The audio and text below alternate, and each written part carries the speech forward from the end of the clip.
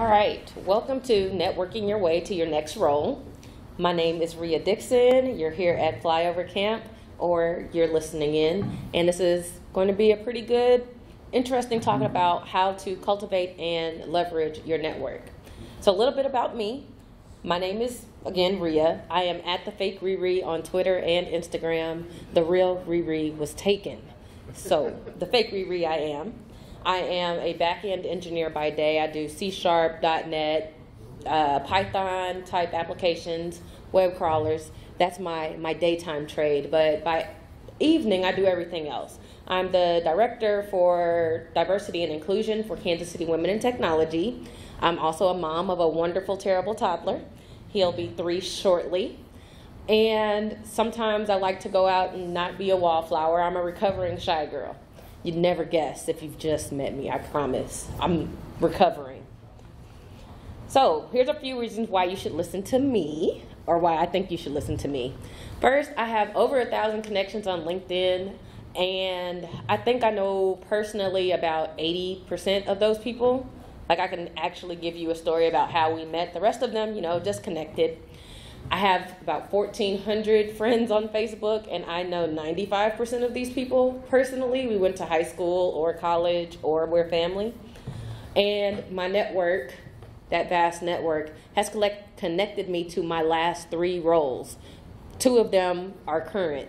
One of them was my previous job. And so I'll tell you a little bit more about them and how that network helped me get those jobs. So, first of all, what is networking? I'm to be cheesy here. We're to start this off with a few definitions. I went and got this one from Merriam Webster. The formal definition of networking is the exchange of information or services among individuals, groups, or institutions. That's kind of what we're talking about a little bit, but I kind of want something a little bit more fleshy. This is a better definition of networking. It's the cultivation of productive relationships for employment and business. This is exactly what we're talking about. I like that they use the word cultivation, and I like that they use the word relationships in this definition. And that's easy enough to get, right? We can kind of pick that apart, we could mash it up. but what does all of that mean? What does it mean to cultivate your network? What is it what do you all think that it means like as far as cultivation, as far as building those relationships? I would like to think that it means to have deeper connections than just the surface. Deeper connections than just the surface. Yes, I like that. I like that. Anyone else? No, we're shy. That's cool. I'm good.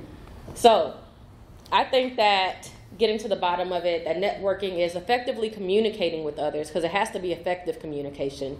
And the efforts to foster a mutually beneficial relationship because it can't be one sided one sided relationships literally do not last that long. You've probably been in a few and they've dissipated, right? Am I right? And we want to do all of that and share our knowledge and our resources. So it's not just trading my services, but it may be trading something that I know off to you and maybe in exchange for something that you know or can help me with. So, why should I care about networking? What are the benefits? Well, what you know is important.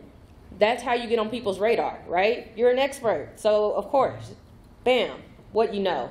Who you know might be more important, especially in the tech industry. I found several times that the people that work at the places I want to work at, they didn't just randomly blind apply. They knew somebody.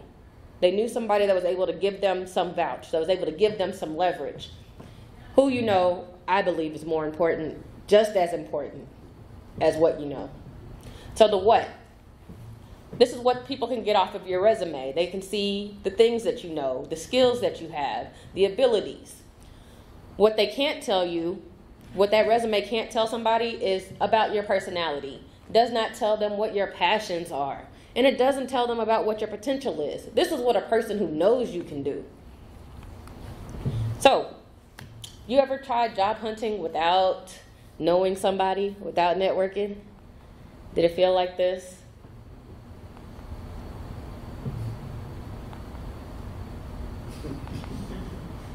Yeah, a little bit. Waiting and waiting and so much waiting. But with networking, this could be you. This could be us. As we sit there and that connection has helped us out, we're now having a dance party because we got the job. A good network has good benefits. Some of the benefits of a good network recommendations. They can write you recs on LinkedIn. They can be your referrals on your job applications. That's those people.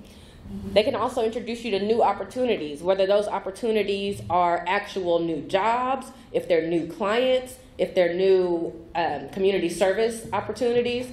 This is how you'll find out. It's from your network. You can also pull your mentor from this network, or you can become a mentor because you have networked and you found somebody that, hey, you know, this person kind of reminds me of me. I want to help this person out. And you have expanded reach. So, say that you're wanting to get into public speaking.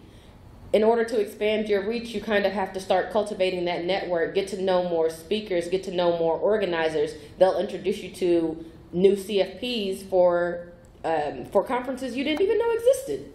Expanded reach is a benefit. Who makes up the network? So we talked about why it's important. So who makes up the network? I think that there are a few degrees of networking. You have your zero degree, your first, your second, and your peripheral network. And so I'm going to talk a little bit more about it. But this image on the screen, this is indicative of the fact that people are going to move in and out of your uh, of your ground zero network. So, or or your level three, they may move a little bit closer, they may move a little bit further. But we're going to talk about it, and I'm sure that you all know people that have done this in your own networks. So, the first one, your ground zero network. This is what I call your nuclear network, and these people are closest to you. They can give you a very, very high vouch because they know you. The, they know kind of what you know as well, but these are people that you know know. no, no. but who do you think these people are? Who would you consider to be your ground zero network?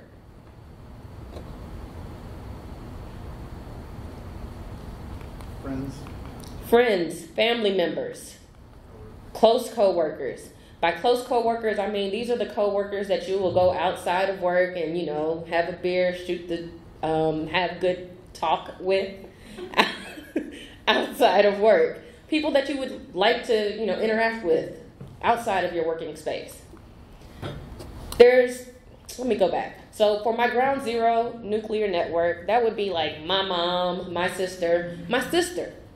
She is an architect and she knows kind of what I do. She doesn't necessarily know a lot about it, but she knows that I went to school for it. She knows that I do something with tech. Now, she might think that I can build computers. That's not my skill set. But I do design websites freelance. I do design apps freelance. And so she will kind of direct her friends my way as far as possible opportunities. What she does know, say for instance, if I wanted to start working at her job in a dev role, she'd be able to give me a really high recommendation because she knows me and she knows my personality. She kind of knows a little bit about how I work. And that network is great to have. They're, they're your built in network. But sometimes we don't always get buy in from our nuclear network on our ventures and things that we're trying to do. So there's more to networking than just your ground zero. Here's your first degree, your work circle. These are the people that you have worked with in some capacity. Let's think like um, the Avengers, for example. The Avengers, Captain America and Iron Man have worked together. They have worked together on several different outings and adventures and projects. Iron Man can vouch for Captain America's personality. He can also vouch for the things that he knows. Captain America can tell you, yeah, that's the biggest brain I know. And if that's not the biggest brain, I have another big brain friend. Right? This is your work circle. These are the people that are your teammates. They are, say, when I say teammates, you know, if you do intramural sports or whatever, teammates, your co workers, your organization friends. So I'm in KC Wit. And how I got involved in it is um, I went to Coding and Cocktails, which was for women, and I fell in love with the organization and decided to become a mentor. I was so enthusiastic about it that the founder, Jennifer Wadella, reached out to me about possibly becoming the diversity and inclusion director if I had time. At that point, I was just starting a new job. I was like, yeah, not just yet. I'm trying to learn these three new languages that I didn't learn in school. And I just kept volunteering with the organization. She kept being able to see how I work and see how much I was willing to commit to the organization.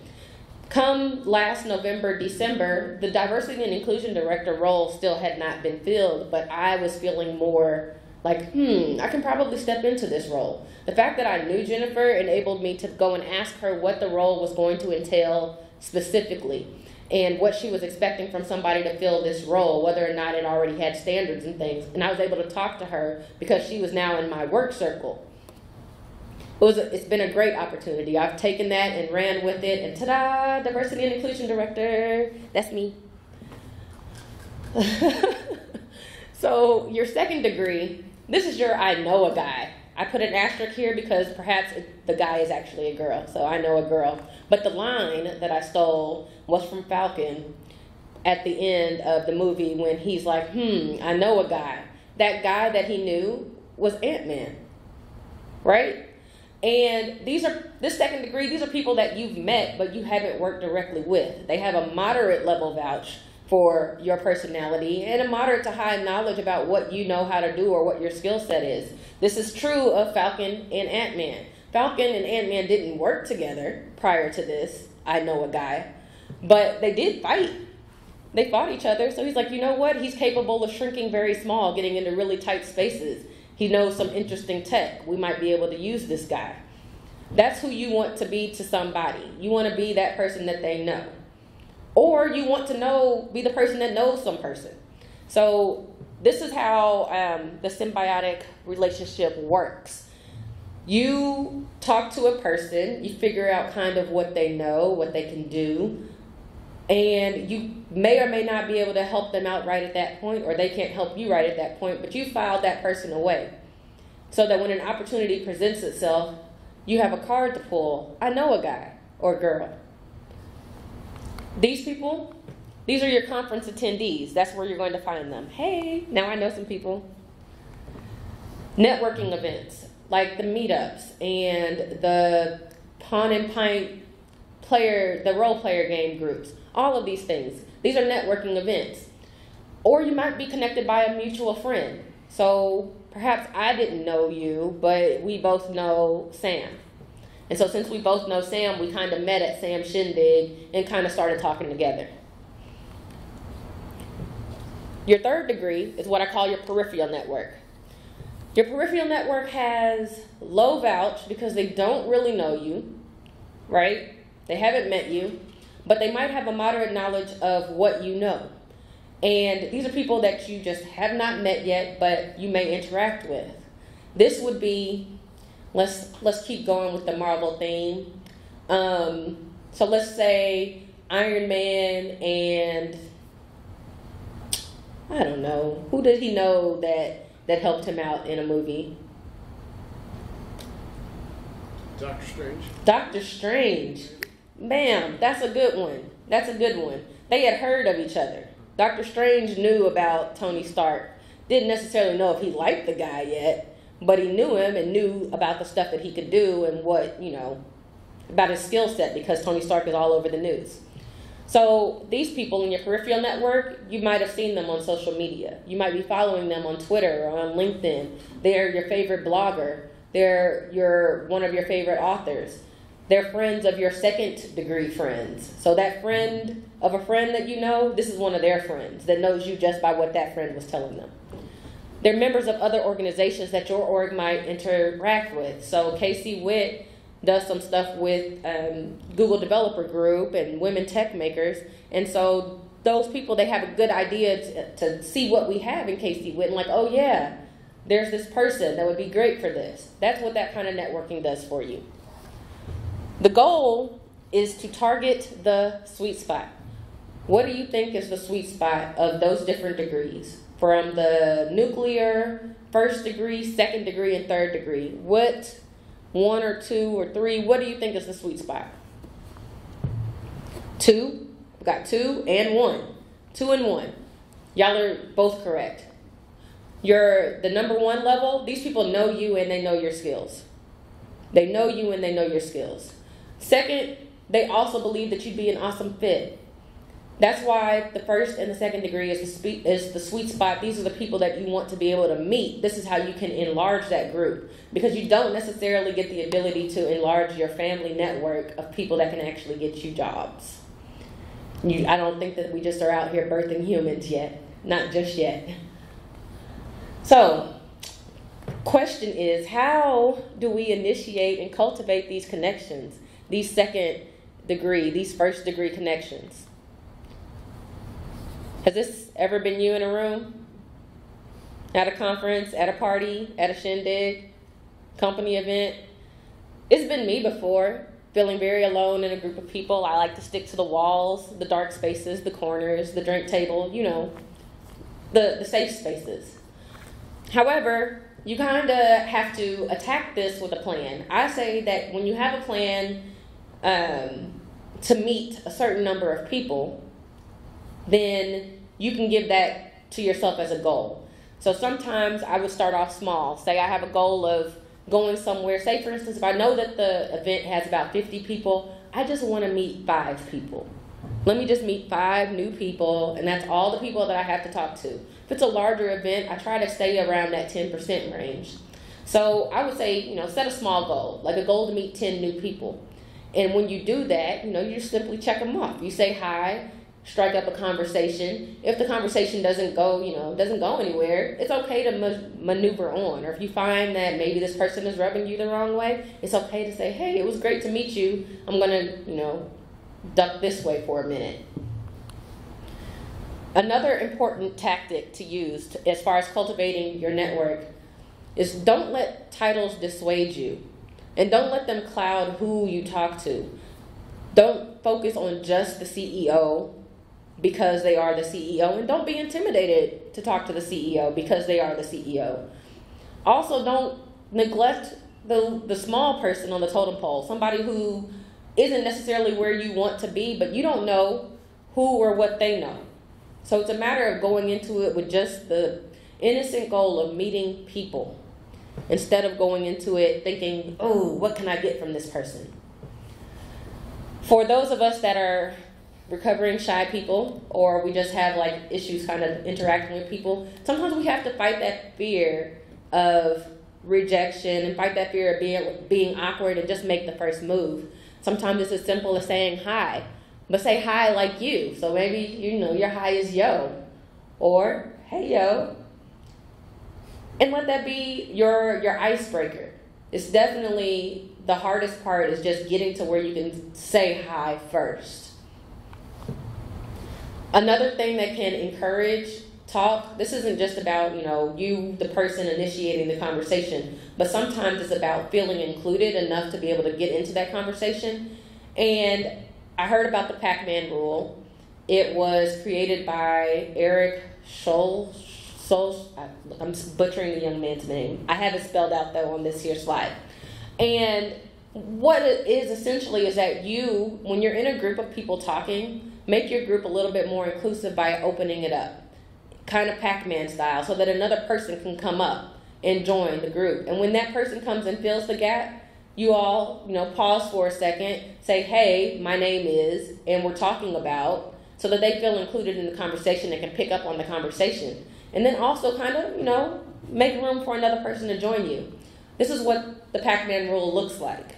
So as you see, there's this is a closed group. It's not inclusive. A shy person isn't going to walk up and intervene like that.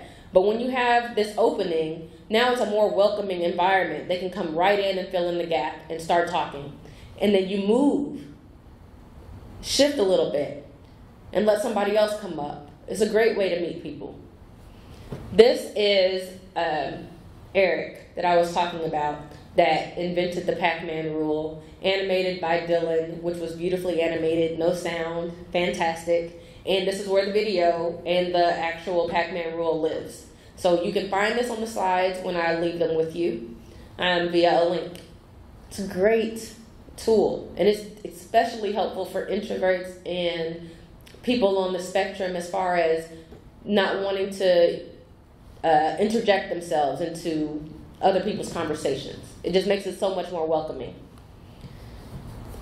Back to the rules, or the guides, I should say, the tips. Small talk leads to more talk. You don't have to go into your conversations knowing exactly what it is that you're going to talk about. Sometimes it is literally as simple as saying, Hi, my name is, I work at this place. You can ask the person, Hey, so are you a developer? And I guarantee you, nine times out of ten, they're either going to say yes or they're going to say no. And then they're going to explain to you what they love either about being a dev or what they, you know, love about not being a dev. But it leads to more conversation. Or you can ask them, you know, hey, did you see Harry Potter? Have you, you know, are you part of the wizarding world? What house are you in? Just random, you know, icebreakers. What do you like to do? Why are you here at this conference? What brought you out? So keep it small and it'll start to just grow organically. And then as the conversation um, continues on, exchange information with people. That's how you that's how you get them into your network.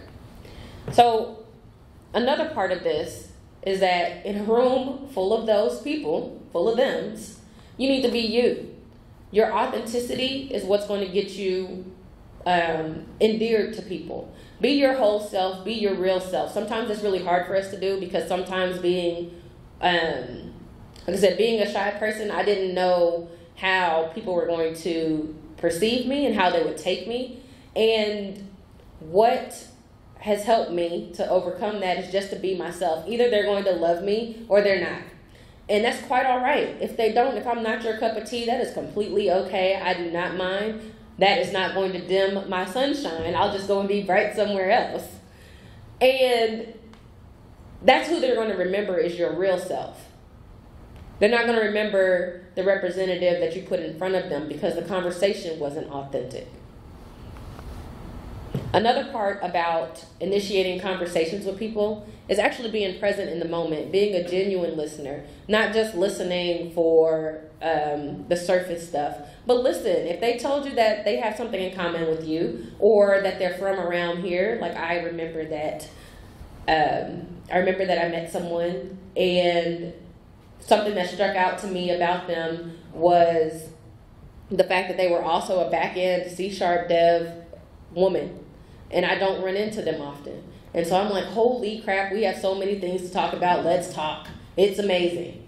Or even people that I have met here. I remember that you're from Omaha, and I remember that you're from India. Like, actually from India. And I was like, wait a minute. Came all this way? And we've had great conversations. So being able to listen and actually make yourself listen to people tell you their answers so that you can remember the conversations that you had with them. Make those connections. Consider how you can be of help to someone. Not necessarily how they can help you, but maybe you know something. Or when they tell you that they're working on this great app and they're getting stuck with the difference between, I don't know, syntax and Python and syntax and C sharp, you, you know a trick and you can help them with that. Or say, for instance, somebody wants to start launching like their lawn care business, and then someone else you know is selling lawn care equipment. Hey, let me help you out here. I know a guy that can help. Or maybe you can help yourself. Maybe it's something that you specifically can do. So, say for instance, if you know that someone has a young child that it might be interested, that's what happens with me. I find out that people have children that are interested in coding, or or the parent is interested in getting the kid into coding, and I'm like, oh yes, I got you. I've got two programs. I was like, is your child male or female? Female? Okay, I'm gonna send you this way first. And then, regardless, I'm gonna send you to Coder Dojo KC because this is where we are growing this problem solving and this analytical thinking with using code, bending code to your will to accomplish tasks. I'm putting that out there. I'm promoting KC Wit at the same time, and I'm helping them get connected to community programs. So consider how you can help. I told you earlier, one sided relationships don't last long. Don't always be out for, hmm, what can they do for me? What can they do for me?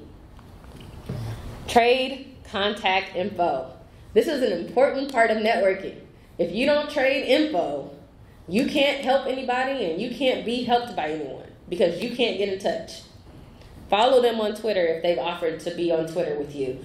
Connect with them on LinkedIn. This definitely helped me when I was getting when I was going through my boot camp. Um, we had a career panel two months before we graduated, and I met the CTO of Veriship and the chief architect of Veriship. Something about them just stuck out to me, and I'm going to tell you a funny story. So as they were talking, um, I was picking up how laid back they were, and I they told me that they didn't do whiteboard interviews, and I'm like, heck yeah, that's where I want to go interview. When we did the breakout sessions, one of the first things that I asked the CTO was um, I wasn't even looking for a job really because I was still in school and you know I, I didn't think I knew enough. But I asked him how did he get into his first tech role, and he told me that he was an actuary. Me being the nerdy person that I am, I knew that that was life and I knew that was insurance.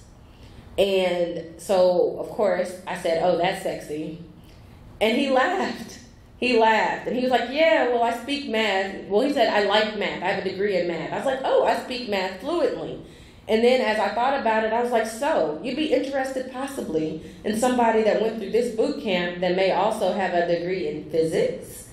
And he said, Why, actually, yes, I would be. We have several physics people on our team.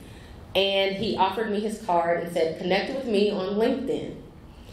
I'm not saying I did it that same night, but I was connected with him by the time the weekend was over on LinkedIn. And I had approached him on LinkedIn saying, Hey, it was great talking to you. This is what stood out about our conversation to me. And um, I'd love to con- keep in contact. And his response was that he loved that I was willing to ask questions and be myself. And he wanted me to submit my resume because they had an opening for an entry level dev that had come up. And I was like, well, holy crap, let me go and check out this job description. And so I sent it to him. And I sent him my resume. Next thing I know, I had my phone interview. I'm still in class, mind you, having my phone interview. And then I had my in person interview the day before we graduated. And then two weeks later, I had a job offer. I started working. I finished graduating my boot camp December 2017. And I started working January 8th of 2018, and I love it. I have not looked back. I've taken it and ran with it. It was amazing. But had I not met this person at my career panel and been willing to go out and talk to them and make this person a social media connection, make them uh, kind of like a second, thirdish type connection, I wouldn't have been able to leverage that.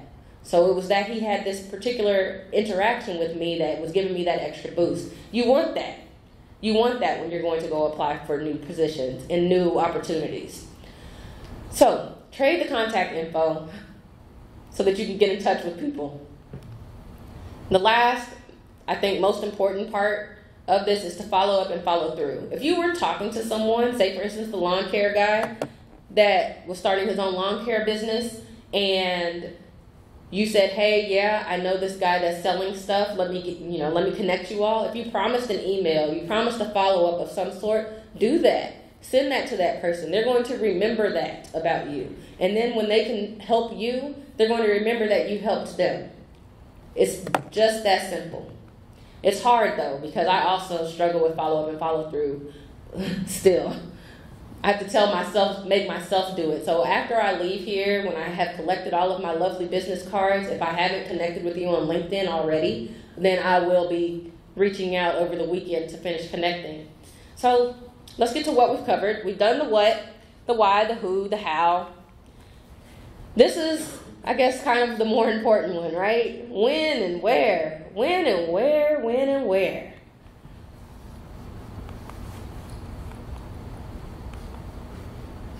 Everywhere. All the time. Everywhere. Everywhere except funerals and bathrooms. Because no one wants that. No one wants that. But seriously, though, when opportunities arise, you need to be prepared to take them. Be prepared to take those opportunities. Those opportunities can happen anywhere at any point in time. There's so many good places to network. You can network at conferences, like how we're doing here. I've met several people here. Thank you very much, Connections. I'll be reaching out. Meetups. So there's several meetups in this city or in your city that you should be able to find people to go and meet up with that are like-minded. It doesn't even have to be a tech meetup. You can go and meet up and do something that is your hobby. Say you want to go learn French. Maybe you go to the Say It in French meetup and find people that are like-minded. You never know who you're going to meet at these places. Shindigs. Shindigs are an awesome place to network. You're having a party, libations are flowing, it's fantastic, fun times. You can be yourself. Airports. Sometimes, now if somebody has on their headphones, they probably don't want to be bothered. You got to take that social cue and not bother them with their headphones on. But otherwise, if you're just sitting next to someone who's do, also doing nothing, strike up a conversation. I met this lovely woman from the south of France, and we just had a great time talking because she was in the United States about to go to like the Bahamas and had been laid over forever. But she was so lovely so lovely that I stayed in contact with her. We're now Facebook friends, and whenever I make it to Versailles, I'm going to go and hit her up. You can also talk to people in elevators. These are the people that you see all the time anyway. If you're walking from the parking lot and you're you know that you both come in at 7 every day, why not say hi? Just strike up something. It starts off, you know, hi. Next week maybe you're talking about this crazy weather in Kansas City. Maybe the next week something interesting that has popped up coffee shops, Chipotle. There's an asterisk by Chipotle because Chipotle is signifying places with long lines. places with long lines. I could also say this about uh, Joe's Kansas City on a busy day. Strike up conversation with these people. Y'all are all you have something in common. You're hungry and you're waiting for waiting to get in to order food. You can network at work. What do your coworkers do outside of work? Do you I mean if you care to know, Find out what they do. I know a guy who I worked with who had a junk lugging business. And I still have his card because my plan is to get him to lug some junk from my parents' house because they're just not the same nimble creatures they once were and the you know the furniture's heavy. But he'll come and pick it up with his business. You can network on LinkedIn. You don't have to know the people per se that you're connected to on LinkedIn, but you kind of want to know how they found you or how you found this person. And if they don't want to connect, you can still follow them without actually connecting with them. Engage on Twitter. If you're on Twitter, engage on Twitter. I feel like as tech people, we should be on Twitter because the Twitter tech community is so robust. There's something for everyone out there, all different kinds of resources. Facebook. Eh, my Facebook is for friends and family that I know, but hey, I can put out when I'm running a special on a website, I can put it out there. And Instagram. Excuse me. These are great places to network. So, my friend, DJ Khaled, major keys communication, connection, follow through. These are the main things that you need to be able to incorporate, whether it's just, like I said, starting off with saying, Hi, my name is. Hey, I would love to continue this conversation later. Is it okay if I connect with you on LinkedIn? actually submit the connection the, the connection request on LinkedIn. Do those things. That's how you'll grow your that's how you will grow it. And more than network, what we're trying to do is build a connect work. A what was that level of connection? Let's do that. I think that you all got this. I've given you great notes, right? Great tips. You can take these, pass them on, run with them, check back on them. I believe in you. We can do this. My slides are available at www.rhiadixon.com slash connectwork. And if you have any questions or if there's anything that, I, that you feel that I left out that I should add, these are ever evolving slides and I will add it to the slides. I promise. You can just keep checking back as a reference. Are there any questions thus far? Yes, no, maybe. So I'm not an introvert, so I can talk to anybody, it's no big deal. But Mhm. you said you sometimes would uh, hang out on the wall, Yeah. check out the wall. So how did you break through?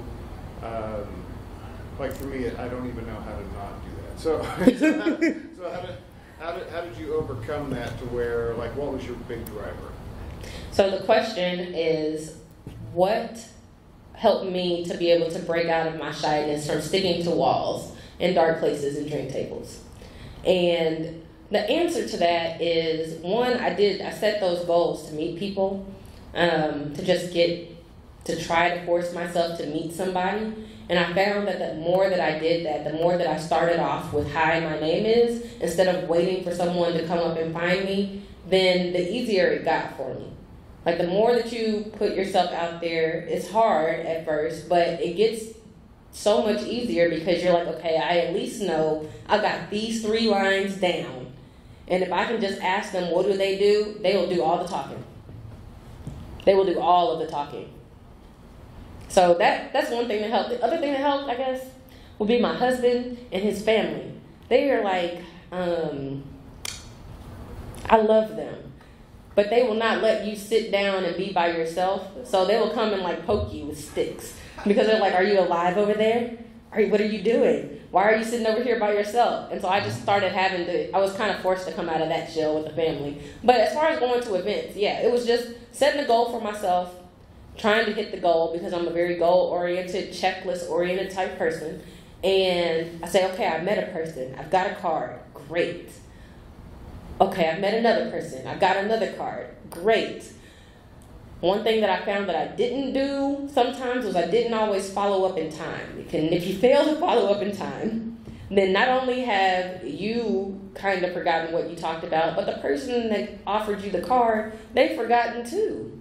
They don't remember where they met you. They don't remember what you all were talking about. Try to keep it fresh in their mind so they're more willing to accept your connection request um, once you once you submit it. And another little tip that I've started to do is when I've met someone, I jot down quickly where I met them at. So on people's business cards that I've received, I've jotted down flyover camp, and I jotted down a quick reminder about what did we talk about, so that I can remember to put names and faces with with people. So I'm like, oh yeah, that's the guy from Omaha. Okay, I got it. Because I'm, I'm, I'm horrible with names. I'm really horrible with names. I try to be better. Um, I, I am an introvert. I, I'm not shy. I don't have a problem with talking to people, but sometimes I have trouble figuring out that I, you know, that I want to do it, getting getting up the motivation to actually do it. Mm-hmm. And what I found is easier is to look for somebody else who's a wallflower, somebody find somebody else who's not talking to anybody, and go talk to them because it's easier than trying to break into a conversation that's already in progress. So I'll look for somebody else who's who's not talking to anyone, and you know, not on their phone or listening to earbuds or something. That's a great. That's a great tip. Finding another wallflower, another person who is kind of just floating around the outside, that is an awesome way to initiate conversation with someone. You all, you two already have something in common. You are both not talking to anyone else right now. Let's talk to each other. Let's strike up conversation. Maybe we'll walk over to the drink table together. And it's a great way to meet more people. Great way to meet more people. And then, you know, you can pick up other stragglers on your way, right? Any other questions or comments? Awesome. Thank you all so much for coming to my talk. I really appreciate it. My name is Rhia Dixon, again, at the fake Riri. The fake Riri on Instagram and on Twitter. And you can also connect with me on LinkedIn. If you could please just let me know that it was flyover camp. If we don't actually change cars, just let me know it was flyover camp. I will be happy to talk to you after this is over. Thank you.